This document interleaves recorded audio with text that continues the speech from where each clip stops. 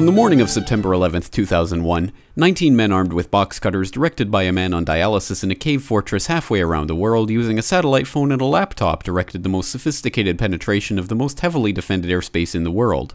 Overpowering the passengers and the military combat trained pilots on four commercial aircraft before flying those planes wildly off course for over an hour without being molested by a single fighter interceptor.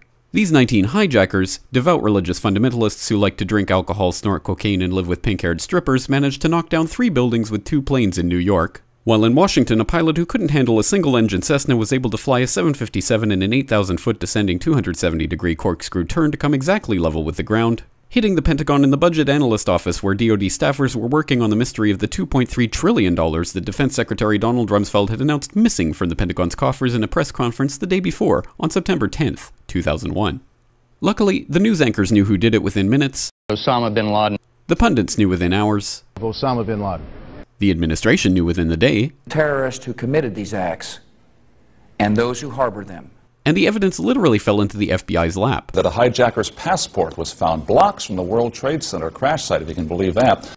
But for some reason, a bunch of crazy conspiracy theorists demanded an investigation into the greatest attack on American soil in history. That investigation was delayed, underfunded, set up to fail, a conflict of interest, and a cover up from start to finish. It was based on testimony extracted through torture, the records of which were destroyed. It failed to mention the existence of WTC 7, Able Danger, Ptech, Sibel Edmonds, OBL and the CIA, and the drills of hijacked aircraft being flown into buildings that were being simulated at the precise same time that those events were actually happening.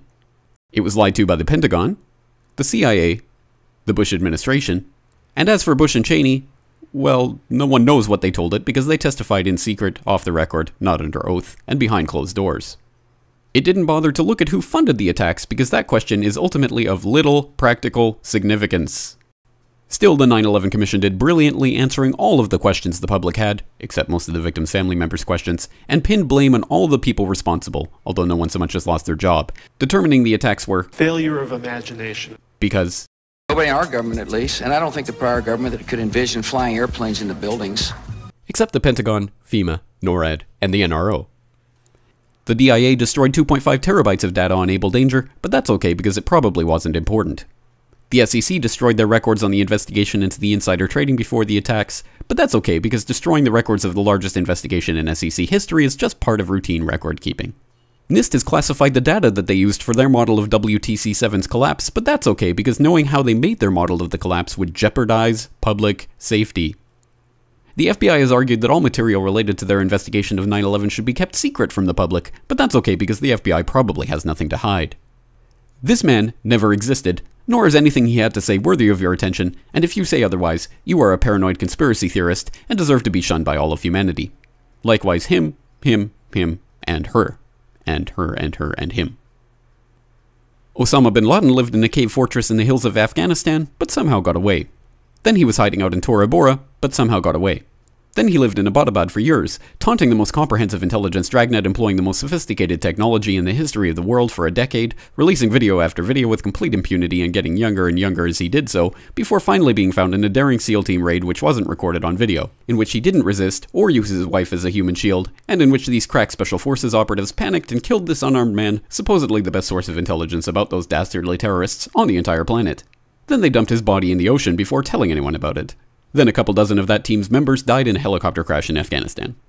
This is the story of 9 11, brought to you by the media which told you the hard truths about. His head could be seen to move violently forward. And. They took the babies out of the incubators. And. Mobile production facilities. And. The rescue of Jessica Lynch. If you have any questions about this story, you are a batshit paranoid tinfoil dog abusing baby hater and will be reviled by everyone. If you love your country and or freedom, happiness, rainbows, rock and roll, puppy dogs, apple pie, and your grandma, you will never ever express doubts about any part of this story to anyone. Ever. This has been a public service announcement by the Friends of the FBI, CIA, NSA, DIA, SEC, MSM, White House, NIST, and the 9 11 Commission. Because ignorance is strength.